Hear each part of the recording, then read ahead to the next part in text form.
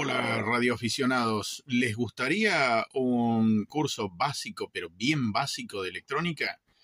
Bueno, cualquier cosita me avisan y ya voy elaborando alguna cosa para, subir en mi canal. Muchas gracias, 73.